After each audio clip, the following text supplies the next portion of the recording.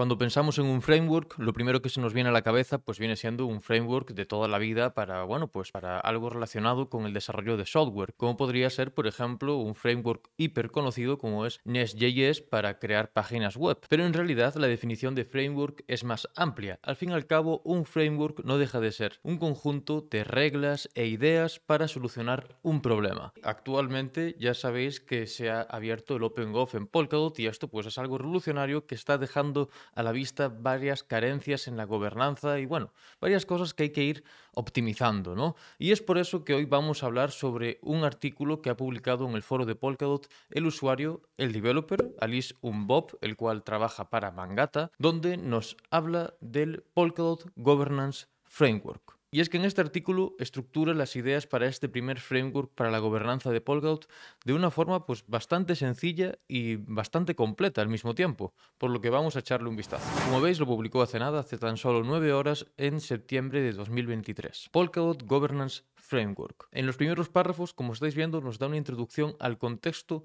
por el cual es necesario construir, desarrollar este framework para la gobernanza de Polkadot.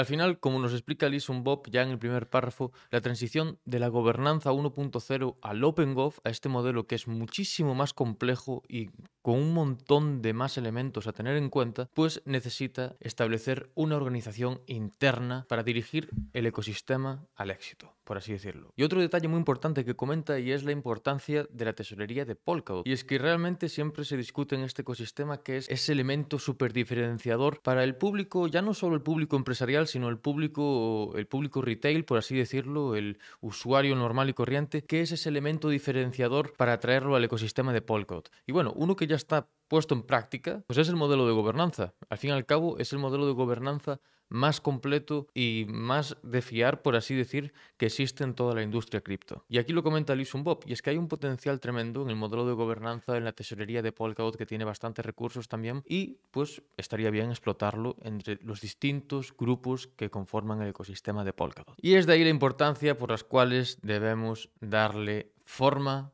a la gobernanza. No os preocupéis que el artículo no es muy largo, solo tiene tres secciones bastante cortitas. La primera es Shapes of Governance, las formas de la gobernanza. La segunda viene siendo los collectives, como viene siendo el Polkadot Fellowship. Y después la tercera introduce el término, el concepto de voter committees, el cual es súper interesante y ya hay un agente testeando ese concepto, podríamos decirlo de esa manera, en el ecosistema. En primer lugar, para hablar del framework de la gobernanza de Polkadot tendremos que asumir las siguientes cuestiones. La primera es que la gobernanza de Polkadot es como el mayor cuerpo de gobierno de la Relay Chain, las System Chains y el Dot Token. Es decir, que es el mayor elemento de gobierno, el mayor cuerpo de gobierno de todo el ecosistema que está eh, bueno, pues relacionado con Polkadot y su relay chain. Y bueno, aquí ya de hecho ya resalta algunos temas que se pueden derivar de esto, pero que no vamos a tratar en este artículo de forma trivial, ya que merece pues bastante mayor desarrollo. Y es el tema de las parachains y el nivel de soberanía que llegan a tener, ya que al final, como todo, está limitado por algo, ¿no? Al igual que Polkadot en cierta forma está limitado, bueno, pues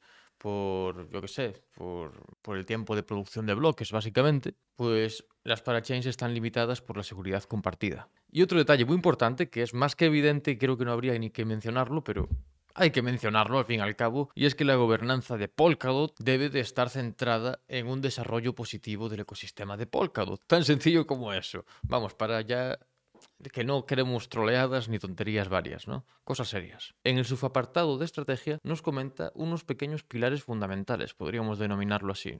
Y es que la gobernanza de Polkadot es la que establece los objetivos, la gobernanza también es la que desarrolla la estrategia para conseguir estos objetivos, recordar que la gobernanza está limitada en recursos y bueno, y persigue unos objetivos concretos, como mencionamos anteriormente, y esta estrategia está desarrollada mediante artefactos como podrían ser posts en el foro de Polkadot, como este mismo, o discusiones como el debate abierto que tienen en el canal de Kusamarian del de AAG. Al final estos serían ejemplos de artefactos mediante los cuales la gobernanza plantearía una estrategia. La fragmentación está bien, es decir, que es normal que haya distintos puntos de vista, es normal que se generen distintos grupos que, bueno, pues que apoyen distintos ideales, eso es lo más normal del mundo. Y por último, lógicamente, en este apartado de estrategia, los outcomes, los resultados son importantes. Y es que es importante, mediante la gobernanza y las distintas herramientas, que vayamos optimizando todos estos distintos procesos para ir recogiendo mejores resultados. En el subapartado de operaciones, Alison Bob define tres agentes que serían los encargados de implementar esta estrategia. Estos tres agentes vendrían siendo las iniciativas, los proyectos y los programas. Los programas, al fin de cuentas, sería una combinación de iniciativas y proyectos, por así decirlo, para conseguir un bien común a mayor largo plazo. Y bueno, aquí en iniciativas pues nos pone como ejemplo lo que podría ser el Improve Developer Experience, que es pues otro eh, artículo del foro donde, bueno, es una idea que todavía no se ha desarrollado, pero ya hablaremos en un vídeo futuro. Y después en el apartado de proyectos pues pone un ejemplo muy interesante que viene siendo el de Nova Spectre, que viene siendo este producto que está desarrollando el equipo de Nova, está siendo financiado por la tesorería de Polkadot y está dirigido a desarrollar una wallet de escritorio para el ecosistema de Polkadot. Y como podéis entender, pues es algo que beneficia al bien común, ya que es de gran utilidad, especialmente ahora mismo, en estos momentos que la usabilidad pues es más que urgente para el ecosistema.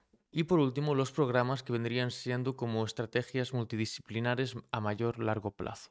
Y el ejemplo que nos pone Alison Bob para el caso de los programas viene siendo el mantenimiento de las operaciones de la infraestructura de los RPC. Y los nodos RPC básicamente viene siendo como la columna vertebral de un sistema de cualquier blockchain. Y es que es gracias a estos nodos RPC que podemos interactuar con la blockchain. Es básicamente la interfaz que conecta las distintas aplicaciones descentralizadas con la blockchain en sí. Y por último, Alison Bob nos define quiénes son los agentes que son responsables de implementar esta estrategia, los cuales vienen siendo los individual actors, bueno, pues las personas, los usuarios on-chain y los collectives. Los collectives vienen siendo, pues, como por ejemplo el Polkadot Fellowship. Y aquí un detalle muy interesante que nos resalta y es que son estos colectivos los que deberían, por ejemplo, bueno, pues liderar iniciativas y programas. Eso sería lo correcto, básicamente, ya que serían estos colectivos los que operarían a mayor largo plazo. Después a lo mejor hay proyectos que no están relacionados con la tesorería en un periodo tan largo de tiempo con el ecosistema, ¿no?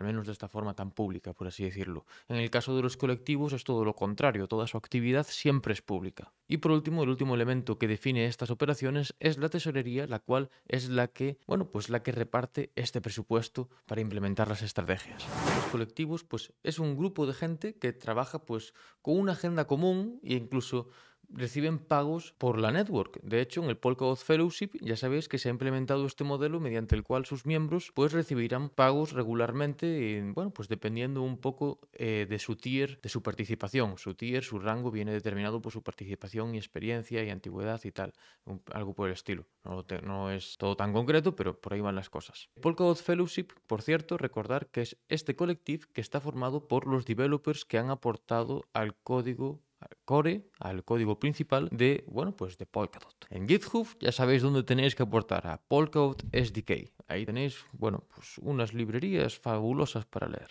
Básicamente los colectivos vienen siendo entidades on-chain que tienen un significado, bueno, pues un objetivo, una misión, por así decirlo, ¿no? Un, un contexto, un membership, un sistema de miembros y ranks, un ranking, como en el Polkadot Fellowship que os digo que tienen distintos rankings. Y una opción para que les paguen. Como os he dicho, que en el Polkadot Fellowship pues ahora están empezando a recibir pagos. Esto no se tendría que implementar en todos los colectivos, pero es interesante. Después salís un pop, este artículo os lo recomiendo mucho porque además tenéis enlaces a otros artículos súper interesantes. De hecho, aquí nos enlaza el artículo de Joe Petrowski sobre el Collective Based Multi-Asset Esto es súper interesante. Y aquí nos ordena una lista de los fellowships que ya existen ahora mismo y algunos potenciales para el futuro. Actualmente existe el Polkadot Fellowship, el que estábamos hablando hasta el momento, el Polkadot Ambassador Program, que el cual creo que aún no han formalizado el colectivo, pero están cerca de hacerlo, y después está el Ecosystem Technical Fellowship, que ahora mismo no, sé, no sabría decir mucho sobre este fellowship en concreto, pero bueno, ya cuando me informe ya os comentaré más. Y después estarían estos potenciales collectives, que sería el Data Collective, que estaría bastante interesante, el Content Collective, que ahí es donde salgo yo a, repartir eh, chapas como animal, vamos, porque al final, muy importante, nunca relacionemos Content Collective con Polkadot Ambassador Program. No tiene nada que ver el contenido con los embajadores. A recordar eso. Y por último, el colectivo de infraestructura. El cual este colectivo de infraestructura, por ejemplo, estaría súper interesante pues, para dirigir este mismo programa del Ongoing RPC Infrastructure Operations. Y bueno, este concepto de collectives Eh, en otros ecosistemas, pues aquí nos comenta que se refieren, por ejemplo, en DYDX, se refieren a ellos como subDAOs, y en MakerDAO se refiere a ellos como Core Units. Y bueno, esto vamos a hablar ya del final que viene siendo los Voter Committees, que si no se va a hacer muy largo el vídeo. Y esto es súper interesante, chicos, porque nos viene hablando sobre las DAOs como, bueno, agentes más independientes como Chaos DAO, que vienen siendo pues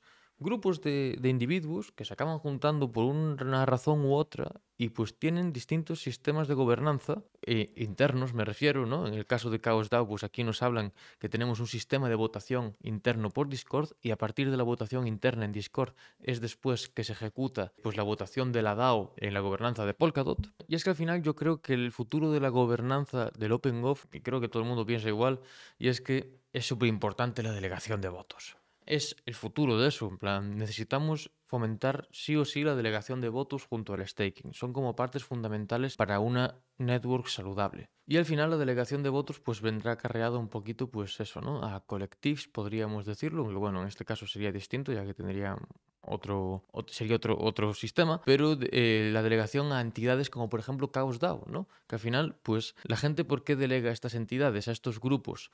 Pues porque representan a, un, a, unos grupos de individuos, representan unas ideas, son activos en el ecosistema, aportando valor, comunicando, opinando, debatiendo, todo por lo que hemos comentado al inicio de este documento, aquí, que viene siendo la gobernanza de Polkadot, es todo, ya sea para el desarrollo positivo, ¿eh?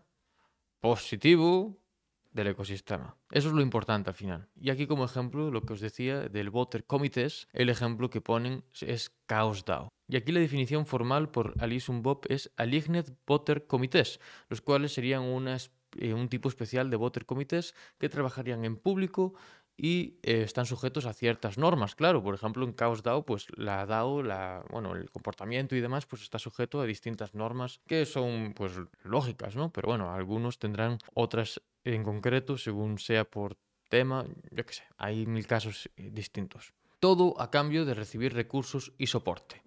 Al fin y al cabo, en el caso de Chaos DAO, pues recibe la delegación de votos para así participar en la gobernanza. La gente confía en este Aligned Voter Committee pues para participar en la gobernanza por el bien de la, de la network. Que bueno chicos, espero que os haya gustado este vídeo hablando sobre el Polkadot Governance Framework. Dentro de muy poco nos veremos con nuevos vídeos, especialmente un resumen especial que os estoy preparando sobre el Sub-Zero de este año, del cual hubo charlas muy interesantes, incluida la de Rolf Habermeyer, que viene siendo una continuación de la que inició Gavin Good sobre Polkadot 2.0 en el Decoded de este año también. Así que nada, dejar vuestro like, suscribiros, recordar que en la descripción tenéis enlaces al post original de Elysium Bob y también un enlace a un hilo de Twitter que publicó donde habla sobre esto, esta propuesta también. Y nada, nos vemos en el próximo vídeo. Hasta luego.